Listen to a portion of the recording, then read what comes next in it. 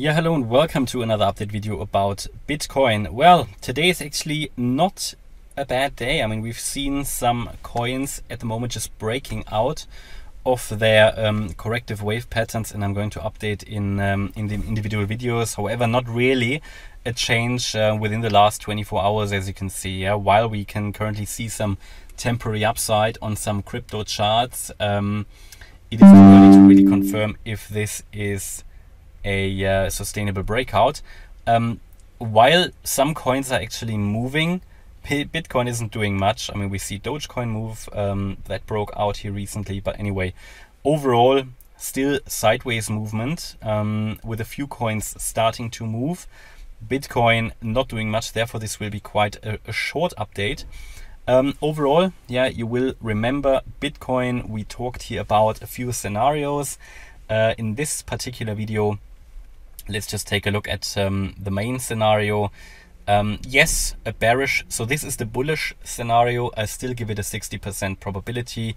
Maybe I'll find on the weekend some time to talk about why I do not see this here as a bear flag.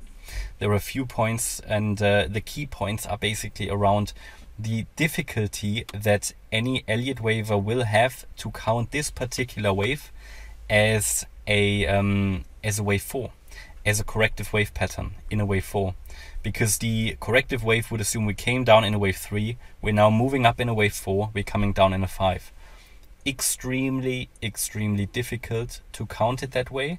Um, you would possibly break some rules or you would have to force a certain wave count which is never a good sign. So for me this looks much more impulsive and I might be able to dive into this in a little bit more detail uh, on the weekend because it will take possibly like 20 minutes 30 minutes to explain that. Again only if I find the time really. But for now it's important to understand. It is extremely difficult to count an ex, uh, to count a corrective wave pattern into this. For example a WXYXZ which I mentioned before a few weeks ago as basically not possible anymore. Um, not easily. Yeah because we basically moved up too high um, another possibility is a WXY pattern, but even here we've already moved above two key targets and the last one remaining here is 25,700. That might be possible, but also again less likely, therefore I give it only a 40% probability. Um, in terms of the bullish scenario, which I currently give a 60% probability, we can assume that we started obviously the new impulse from down here, which means the trend has changed to the upside. Now again, it's not guaranteed in any way, and I'm still allowing here for lower levels with a 40% probability, but um, we can be carefully optimistic. That remains the case. We moved up in a 1, we came down in a 2, we're now in that wave 3. Within the wave 3, we've done another 1-2 setup, and we are also here in a wave 3 now because the wave 2 was complete. And within that wave 3, we've just done another uh, wave 1, and we're coming down here in a 2 and I'm still waiting to get into that green area where I see this wave 2 ideally get into and to reverse back to the upside yeah? At the moment you can see we're sort of coiling up just around and dancing on this ascending trend line which is um, part of this well you could call it a bear flag which I don't really want to call it but uh, this trend line on the channel okay? Um, and we're just sort of dancing on that. So you can see how relevant that level is.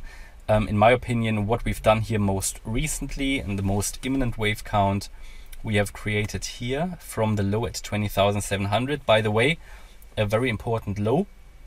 We need to hold this level at 20,700 to maintain the current probabilities of 60% for the bullish scenario. The condition is that we need to hold this level. So for now, wave one to the upside, two down, three up, four down, five up in a diagonal pattern, you can have those waves overlap. Basically, it means a leading diagonal. It is a first wave of a larger impulse to the upside. It is the first wave of the third wave that I just mentioned in the beginning. Here a wave one, and now we are in this wave two. In the wave two, you have three main waves. You have a wave A, a wave B, and a wave C. In my opinion, we have only just done the wave A. Uh, that has to do a bit with speculation here. I mean, these micro counts, they are fragile, they can move around, they can get invalidated fairly easily. But what we can see here at the moment, we came down in what I believe is a five wave move. We would now expect a wave B to the upside. It is looking like if this is a five wave move down, then it was a zigzag pattern.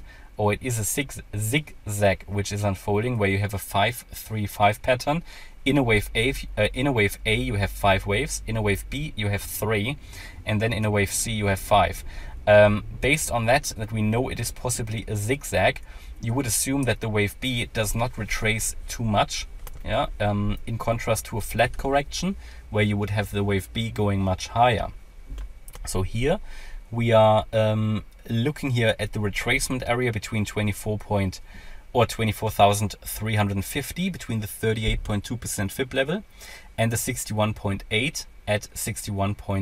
Uh, sorry, $64,680. Yeah.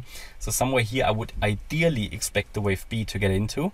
Um, and then we would expect a wave C to come down, right, in a wave C and that would finish off the wave 2 and I see this area between 22,430 and 23,480 anywhere in here I would expect the price to move to the upside and of course you can use in addition for for example here some structural support levels down here we had yeah 22,430 that is the low anyway um, here we had another low the wave uh, 5 low or the higher level wave 2 low which was here at 22,700. So keep an eye on these levels and that might um, hold support here, yeah. Um, also, you could see that just as a bear flag at the moment, yeah, we're coming down sideways, maybe slightly up and then down. So I don't think we've seen here the end of the wave 2 correction. Um, ideally, you want to remain here below that